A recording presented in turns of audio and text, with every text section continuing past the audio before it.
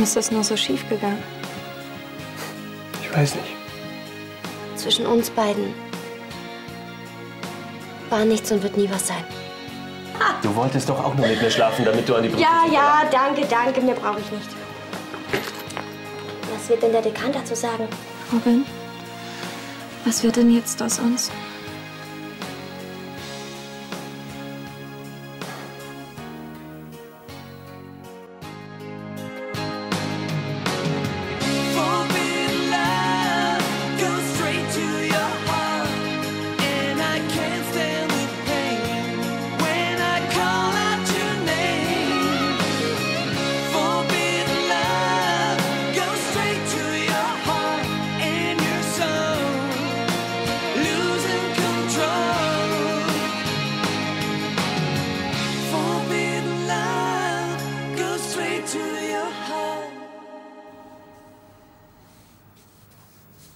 Liebe dich.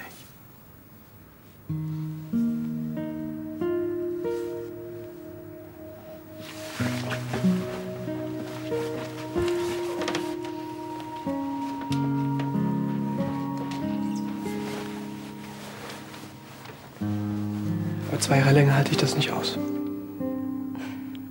Dann ist es vorbei? Robin, wieso willst du Schluss machen? Wir lieben uns doch. Genau das ist doch der Punkt. Ich liebe dich so sehr, dass ich, dass ich einfach nicht länger ohne dich sein kann. Im Sommer. Da habe ich einen Monat frei, dann können wir wegfahren. Außerdem, wir können telefonieren, mailen. Ich schaffe so eine Fernbeziehung nicht mehr. Bisher haben wir es auch geschafft. Ja, da waren es drei Monate, jetzt sind es zwei Jahre. Also glaubst du nicht, dass unsere Liebe stark genug dafür ist?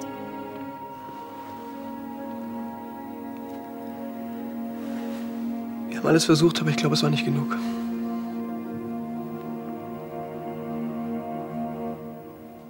Ähm, und kommen Carla und Ansgar denn später auch? Aha. Okay. Bis dann.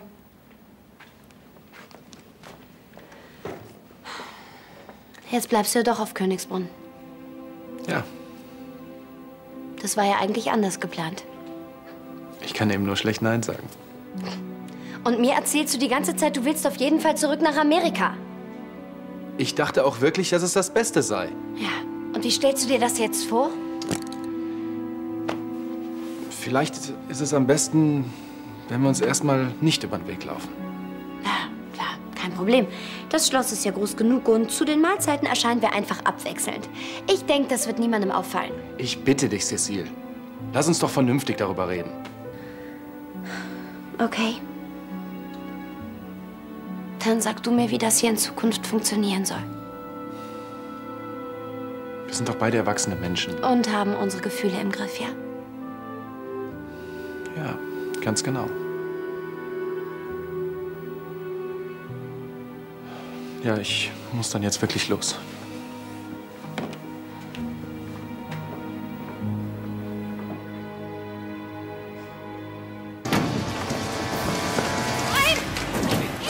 Nein, mit Zicken, dann passiert nichts, okay? Verdammt nochmal! Gartenarbeit ist gut für die Figur, habe ich gehört. Sollen wir etwas graben? Wir sollen unser eigenes Grab schaufeln. Bin's. Alles gut. Ich habe mir gedacht, nach der ganzen Aufregung könntest du ein paar Vitamine ganz gut vertragen. Danke. Dir geht's nicht gut. Doch, doch, alles bestens. Mir fällt ja nur die Decke auf den Kopf. Ich weiß, aber nach der Entführung sollten wir vorsichtig sein. Ich habe keine Lust, ewig hier rumzuhocken. Ich muss hier raus. Wo willst denn du hin? In die WG. Doch nicht etwa zu Lars. Was soll das werden? Ein Verhör? Davon hatte ich mehr als genug in der letzten Zeit. Vanessa, ich mache mir Sorgen um dich. Der Kerl nutzt dich doch nur aus. Ich will nicht zu Lars, sondern zu Alexa. Sie ist gerade auf Besuch. Na schön. Ja, dann bis später. Äh, warte. Ich habe da noch was für dich. Hier, der wird in Carlas Wagen gefunden. Ein Brief an den Dekan. Der ist doch bestimmt von dir.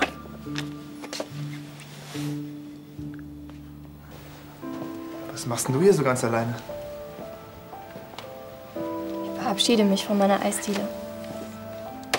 So viel Schokoladeneis.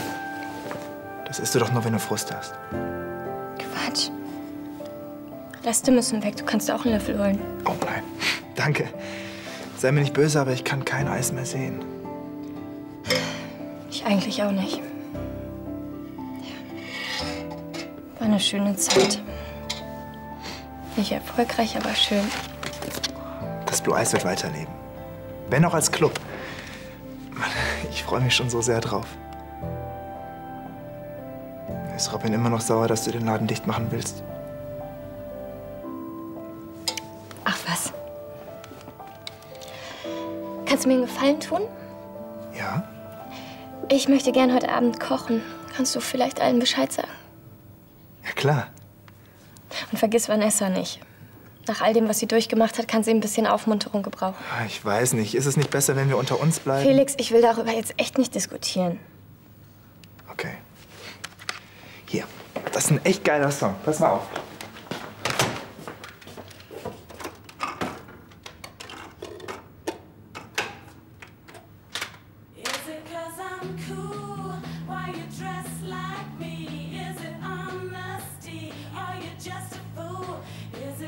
Hey. Alexa, was ist los? Hey.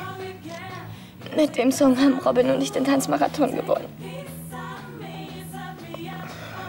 Und jetzt? Ist es aus zwischen euch? Wir haben uns getrennt.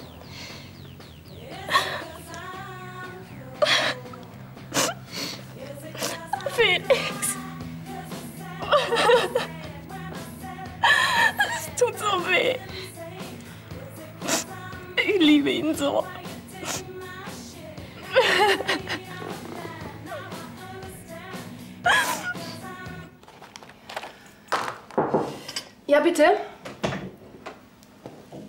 Guten Tag, Frau Jones. Guten Tag, Graf Lahnstein. Bitte nehmen Sie doch Platz. Dankeschön. Oh, entschuldigen Sie, aber ich habe es leider nicht geschafft, das Strategiepapier für On Media auszuarbeiten. Ich sehe, hat die Arbeit für ein neues Magazin Sie aufgehalten. Ja, ja, ich sitze seit gestern an dem Layout. Sie haben die ganze Nacht durchgearbeitet? Wenn man der Konkurrenz voraus sein will, dann muss man früh aufstehen. Oder am besten gar nicht schlafen. Schade, eigentlich wollte ich Sie fragen, ob Sie mit zum Business-Meeting kommen wollen. Sie könnten dort wichtige Kontakte für All Media knüpfen. Ja, gerne. Also die Einladung nehme ich gern an. Äh, sind Sie sicher, dass Sie sich das nach diesem Arbeitspensum zumuten wollen? So eine Chance kann ich mir doch nicht entgehen lassen. Ja, gut, wie Sie meinen. Das würde doch jeder tun. Außerdem bin ich nun mal ein Workaholic. Trotzdem ist es mitunter von Vorteil, Aufgaben auch zu delegieren. Ja. Mit Martin ging das gut. Wir haben uns blind verstanden. Er war. Ach, entschuldigen Sie. Ich bitte Sie, Frau Jones. Ich glaube, ich verstehe sehr gut, was Sie bewegt. Vielen Dank. Aber jetzt genug davon. Ich muss mich auf meine Arbeit konzentrieren. Ja, gut. Vielleicht können Sie trotzdem schon mal einen Blick drauf werfen?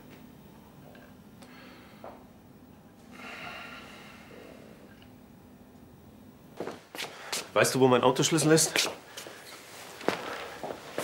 Mann, du könntest auch mal ein bisschen aufräumen. Bleib mal locker. Als Akademiker müsstest du eigentlich wissen, dass Stress ungesund ist. Da sind sie ja. Ist ja schon gut. Ich mach auf. Ich will ja nicht, dass unser Herr Dozent einen Herzinfarkt kriegt.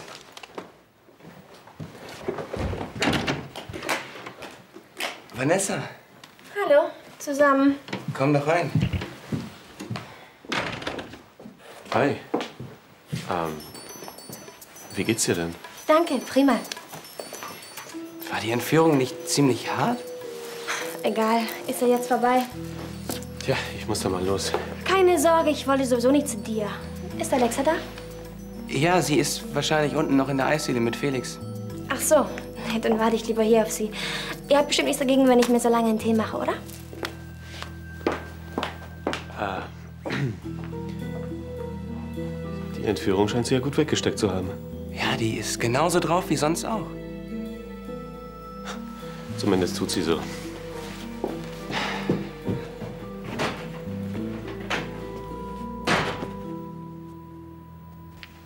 Bist du immer noch im Büro? Ja, leider. Es wird auch noch eine Weile dauern. Zum Meeting werde ich auch später kommen. Aha. Sag mal, könntest du David vorbeischicken? Er müsste was für mich erledigen. Oh, der ist unterwegs zum Flughafen einen Geschäftspartner abholen. Kann er nicht jemand anders? Im Moment sind alle unterwegs. Es geht doch nur um Leonards Stethoskop. Er hat es hier vergessen und braucht es dringend in der Klinik. Kann ihm denn in der Klinik keiner eins besorgen? Er sagt, Ärzte sind da eigen. Ja, dann musst du es ihm halt selber vorbeibringen. Ja, sieht ganz so aus. Bis später, mein Liebling. Okay, bis dann. Und arbeite nicht so lang. Hm. Ah, verzeihen Sie. Wo waren wir stehen geblieben? Ja. Wollen Sie nicht lieber gehen? Es ist mir gar nicht recht, dass Sie meinetwegen Ihre Familie vernachlässigen. Machen Sie sich darüber mal keine Gedanken. Gut. Ja, dann sollten wir gleich in Medias Res gehen. Bitte. Für das erste Jahr. Für das erste Jahr stelle ich mir folgende Strategie vor. Die meisten Medien haben ja im Zentrum ihrer Konzentration die Kernzielgruppe und vernachlässigen dabei wichtige andere Entscheider. Sag mir lieber, was ich jetzt tun soll. Glaubst du denn, dass sie dich immer noch wegen sexueller Nötigung diffamieren will, ja? Vor der Entführung war das jedenfalls ihr Plan. Ja, aber ich kann mir nicht vorstellen, dass so ein traumatisches Erlebnis spurlos an einem vorübergeht. Genau das weiß ich eben nicht. Was hat sie denn für einen Eindruck auf dich gemacht? Als ob sie im Urlaub war. Total cool. Naja, das kann Fassade sein, auch wenn sie noch so abgebrüht tut. Ich glaube nicht, dass ihr das nicht unter die Haut gegangen ist. Umso alarmierender, wenn sie sich von mir nichts anmerken lässt. Inwiefern? Das könnte bedeuten, dass sie mich immer noch anschwärzen will. Ja, dann wirst du es nur erfahren, wenn du das Gespräch noch mal mit ihr suchst. Hältst du das wirklich für eine gute Idee? Bisher lief das immer schief. Ja, du sollst auch nicht als Dozent mit ihr sprechen oder als Mann, sondern als Freund. Als jemand, der genauso verletzlich und sensibel ist wie sie selbst. Meinst du wirklich, das funktioniert? Ja, wenn du es einfühlsam und behutsam angehst. Das ist die Sprache, die wir Frauen verstehen.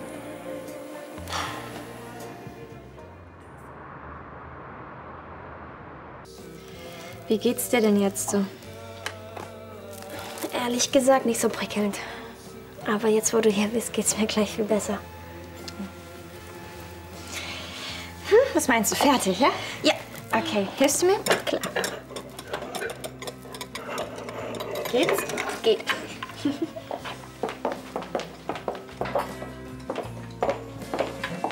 Voila, der Nachtisch. Mousse au Chocolat. Ich habe schon befürchtet, es gibt wieder Eis. Hätte ich das gewusst, hätte ich bei den Nudeln nicht so reingehauen. Tja. Mmh, ist das lecker. Dankeschön. Das Rezept musst du mir unbedingt mitgeben für die Schlossküche. Robin, magst du etwa kein Mousse? Doch, doch. Alexa, Jana, musst du unbedingt das Rezept geben. Macho, koch gefällig selber. Aber jetzt verrat uns doch mal, womit wir dieses Festessen verdient haben. Ich hatte Lust, einfach mal für euch alle zu kochen. Aber nicht, dass du dich vor deinem Abschiedsessen drücken willst. Das war dein Abschiedsessen, stimmt's?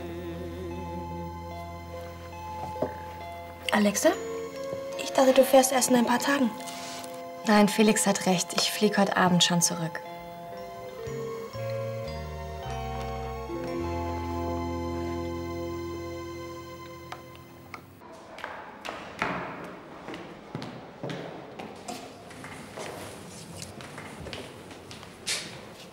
Hallo. Entschuldigung, ich suche Dr. Lahnstein. Ach, der Neue? Ja. Ah, ich sehe, da kommt er gerade. Danke. Hallo. Hallo, Cecile. Und die konnten dir hier im Krankenhaus wirklich keins leihen, ja? Ja, das Stethoskop ist so eine Art Talisman. Das hat mir Dr. Ross damals in Chicago geschenkt. Aha. Frau Weinhardt, bitte helfen Sie mir. Ich bin Dr. Lahnstein. Was ist passiert? Ein Auto hat Lilly angefahren. Schwester, wir haben einen Notfall. Bereiten Sie alles vor. Und dieses Schwein ist einfach weitergefahren. Wann ist das passiert? Bei etwa drei Minuten, nicht weit von hier. Passen Sie auf. Wir bringen Sie jetzt erstmal in den OP und werden Sie da stabilisieren. Lilly wird doch wieder gesund. Ja. Wir werden alles tun, was in unserer Macht steht. Und Sie warten bitte hier.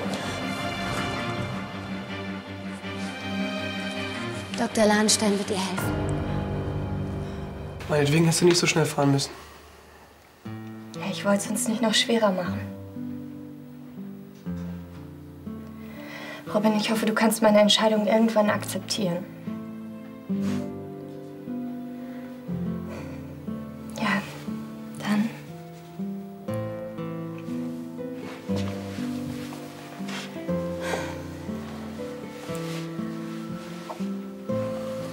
Ich wünsche dir alles Glück der Welt. Auf dich auf.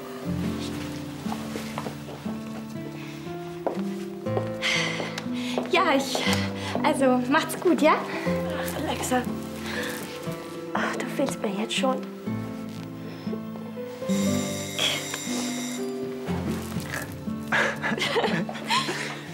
Du wirst es allen zeigen. Das weiß ich. Alles gut. Nicht, dass du uns vergisst, wenn du reich und berühmt geworden bist. Nein. Alexa, dein Taxi.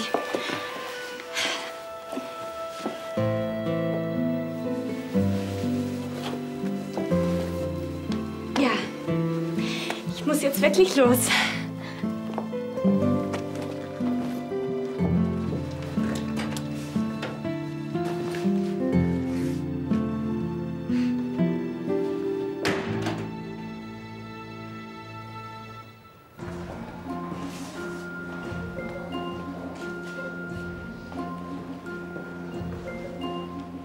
Vorsicht bitte. Sieht nicht gut aus. Warten Sie. Wie haben Sie das gemeint? Wie geht es meiner Tochter? Tut mir leid, aber da darf ich keine Auskunft geben. Aber Lilly wird doch wieder gesund. Geben Sie die Hoffnung nicht auf. Ich, ich hole Ihnen einen Tee, der wird Ihnen sicher gut tun. Ich will keinen Tee. Ich will nur, dass meine kleine Lilly wieder gesund wird.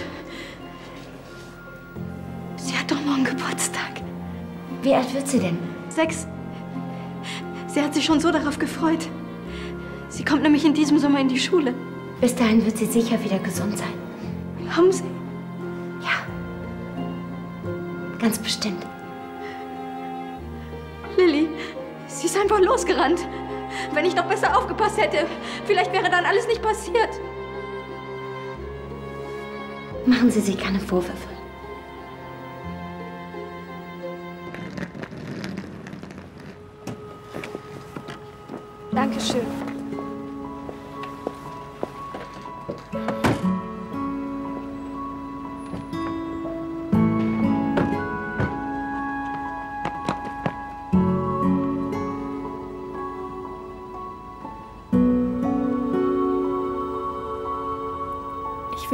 Viel Glück.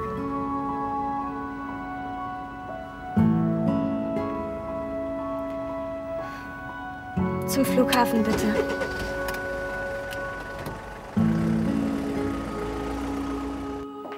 Warum hat Alexa mir denn nicht erzählt, dass sie sich von Robin getrennt hat? Naja, ich glaube, sie musste das erstmal selbst verkraften. Ja, aber diese Welttournee, das ist ja auch die Mega-Chance für sie. Ich kann verstehen, dass sie sich dafür entschieden hat. Ja, und so eine Fernbeziehung über so eine Distanz, das wäre sicher nicht gut gegangen. Hi. Hi.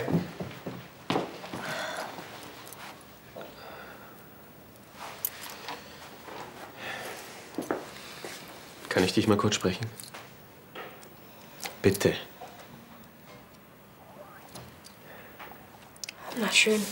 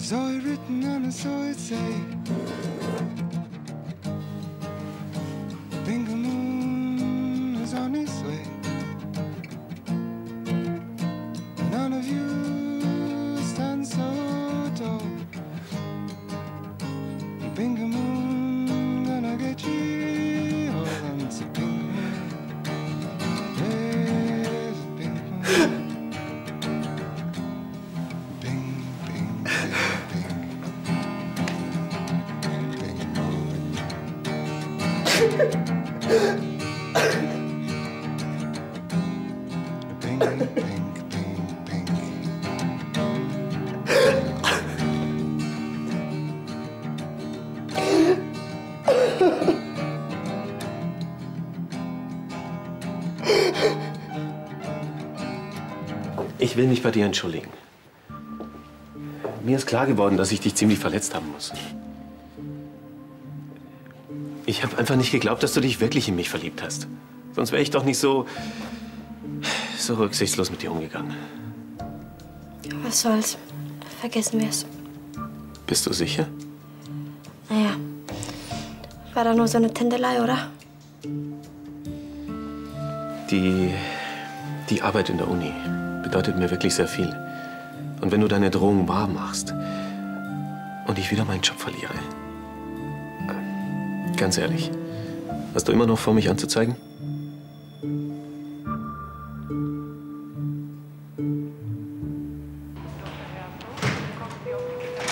Und?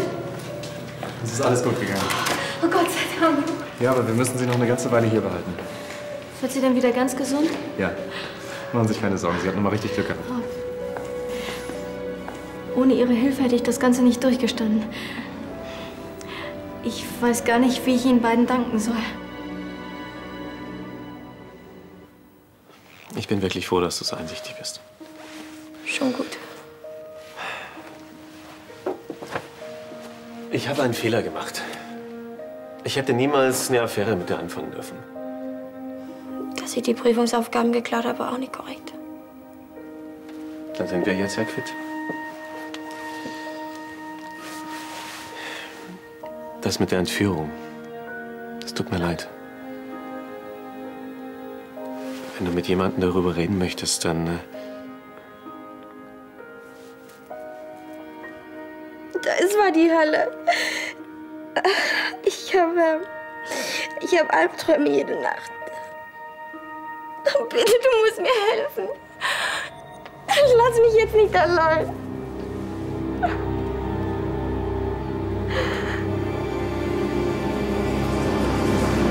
Und so geht es weiter.